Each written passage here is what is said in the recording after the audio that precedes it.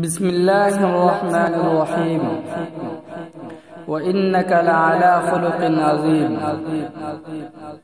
सदक़ल्लाहुल अज़ीम मुअज़्ज़ज़ नाज़रीन सामीन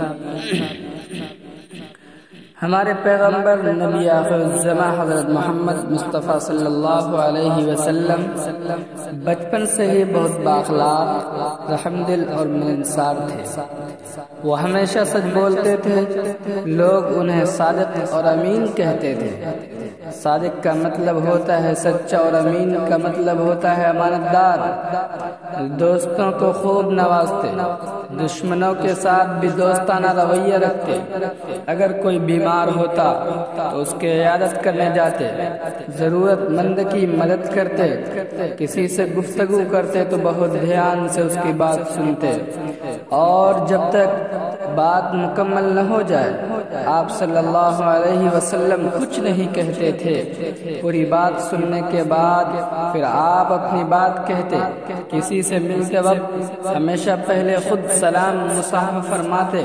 कोई शख्स झुककर आप सल्लल्लाहु अलैहि वसल्लम के कान में कोई बात कहता तो उस वक्त तक आप सल्लल्लाहु अलैहि वसल्लम उसकी तरफ़ से रुख नहीं फेरते थे, जब तक कि वो अपनी बात पूरी न करे।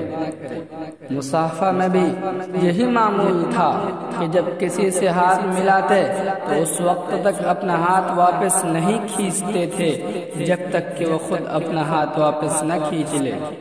अक्सर गुलाम और बांदियाँ किसी बर्तन में पानी लेकर आते कि आप सल्लल्लाहु अलैहि वसल्लम अपना मुबारक हाथ उसमें डाल दें तो वो पानी बरकत वाला हो जाए। सख्त सर्दी के दिनों में भी सुबह के वक्त लोग आते, तब भी आप सल्लल्लाहु अलैहि वसल्लम नहीं मना फरमाते।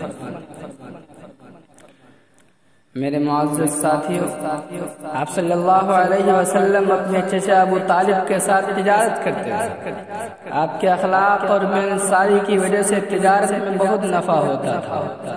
आप अपने खानदान वालों में बड़ी मोहब्बत से पेश आते किसी की दिल आसारी न करते बल्कि अगर कोई गमगीन या उदास होता तो उसकी दिलजोई करते और उसे खुश रखने की कोशिश करते उसके अलावा आप सल्लल्लाहु अलैहि वसल्लम, मुशरकिन और काफिरों के साथ भी अच्छा सलूक करते और सहाब किराम रज़ी अल्लाह तजमैन से भी अच्छा सलूक करने की तलकीन करते जंग के लिए अगर किसी लश्कर को आप सल्लल्लाहु अलैहि वसल्लम रवाना करते तो ये ताकीद ज़रूर करते थे कि जंग में दुश्मनों के बच्चों, औरतों, बीमारों और बूढ़ों पर रहम करना, उन्हें कत्ल न करना।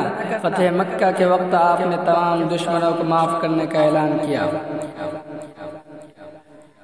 आपको इल्म होना चाहिए कि आप सल्लल्लाहु अलैहि वसल्लम रास्ते से तकलीफ़ दे चीज़ों को हटाते और दूसरों को भी उसका हुक्म देते।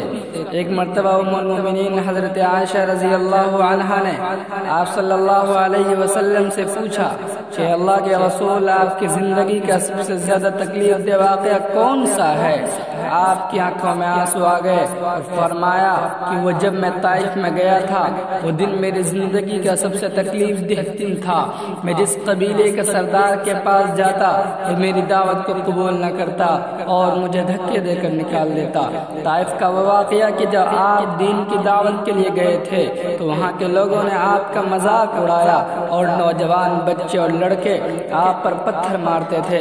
यहाँ तक कि आपकी जूतियाँ खून से भर गई थी। मगर आपने उनको बदुआ न दी, बल्कि उनके हक में रहमत की दुआ की।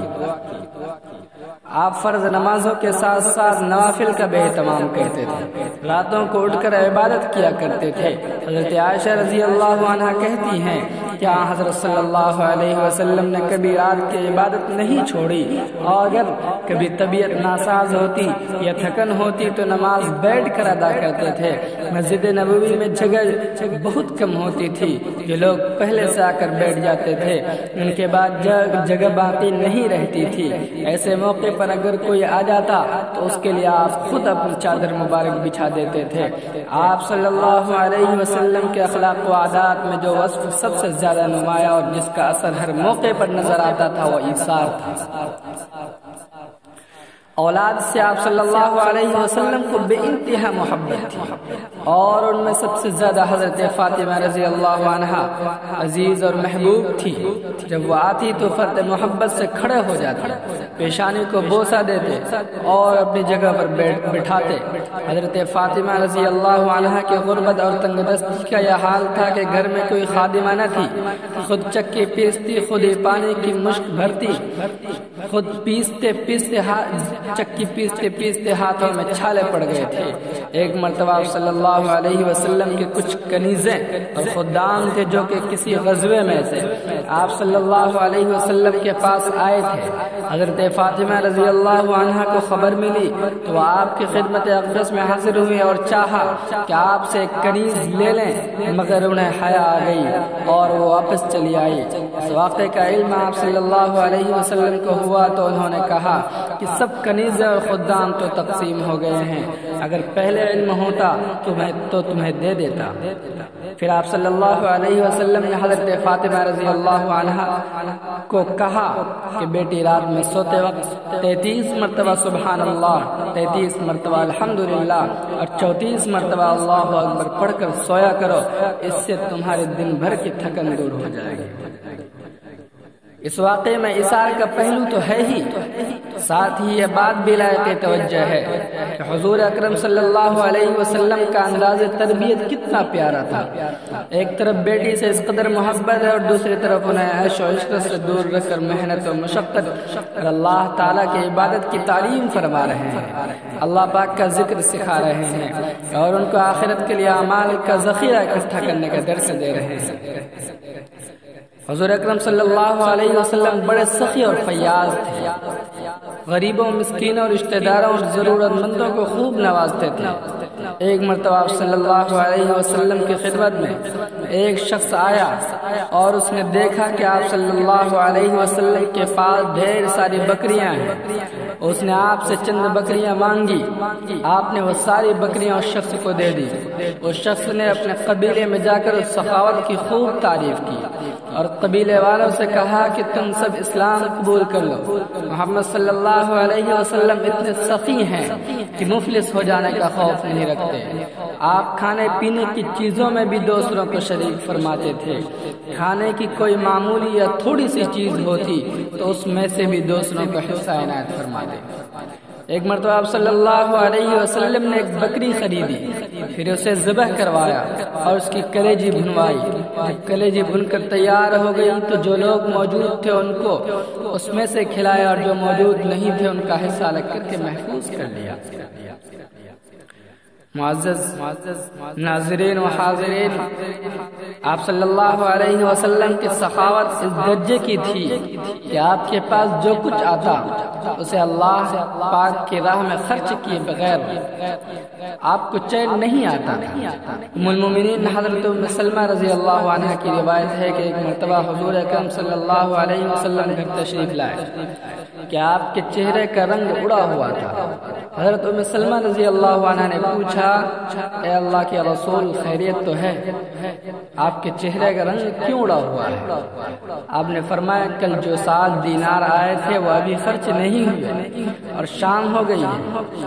हज़रत अबू रज़ी अल्लाह बयान करते हैं कि एक मरतबा मैं अल्लाह के रसूल के साथ कहीं जा रहा था। इतने में आप सल्लल्लाहु अलैहि वसल्लम ने फरमाया अबूजर अगर उहद पहाड़ मेरे लिए सोने का बना दिया जाए तो मैं कभी नहीं पसंद करूँगा कि तीन रात गुजर जाने के बाद मेरे पास एक दीनार भी बाकी रहे। यानी तीन दिन में सबका सब खर्च कर दूँगा। अल्लाह अकबर, ये कैसी सखावत है? हजूर अकम सल्लल्लाहु अलैहि वसल्लम में हया थी। आपको करीब से देखने वाले बयान करते हैं कि शर्म हया का असर आप सल्लल्लाहु अलैहि वसल्लम के एक एक अदा से ज़ाहिर होता था। आपने कभी किसी के साथ बदजुबानी नहीं की, किसी को बुरा भला नहीं कहा, किसी का दिल नहीं दुखाया, सिर्फ़ मुस्कुराते थे कह कहा लगाकर हंसने की आदत आप सल्लल्लाहु अलैहि वसल्लम को नहीं थी। ये हजूर अक्रम सल्लल्लाहु अलैहि वसल्लम के प्यारे अखलाक हैं, जिनको अपने अंदर पैदा करने की कोशिश मुसलमान मुसलमान को करनी चाहिए। पाकिजा और अमदा अखलाक के मिलने की दुआ भी अल्लाह पाक से करनी चाहिए। अल्लाह रब्बुल इज़्ज़त हम सबको हुजूर अकरम वसल्लम के उसवे मुबारक पर अमल करने की तोफ़ी अता फरमाए। वाखिर दावाना